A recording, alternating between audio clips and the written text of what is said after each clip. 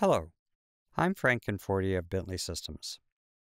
LumenRT can revolutionize the way project team members and other stakeholders communicate with easy to produce visualizations ranging from ultra high resolution still images to 4K ultra high definition videos to phone driven and fully immersive virtual reality presentations.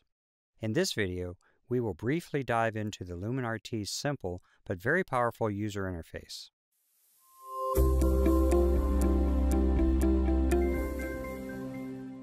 Let's start with the five stars located in the lower right corner of the screen. These control the overall resolution of the LumenRT scene. Clicking more stars increases the resolution and vice versa. You can set these either manually or select automatic to let LumenRT decide. The compass at the lower left corner indicates the north direction, which rotates with the changing position of the camera. In the bottom middle of the screen is a navigational help bar. It shows the help menu when F1 is pressed. It includes shortcuts for easy navigation in the scene. For example, there are two navigational methods.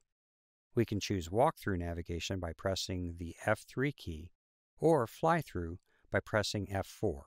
We can directly change the navigation mode by pressing the shortcut keys. The current navigation mode is shown in the Navigation Help bar.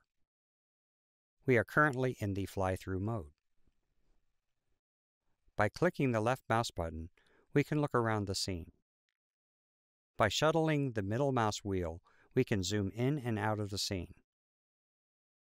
We orbit around the scene by pressing the middle mouse button.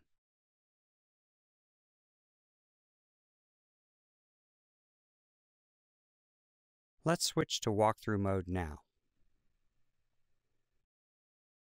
By pressing the up arrow or W keys, we can navigate forward into the scene. The down arrow or S key controls the navigation in the backward direction.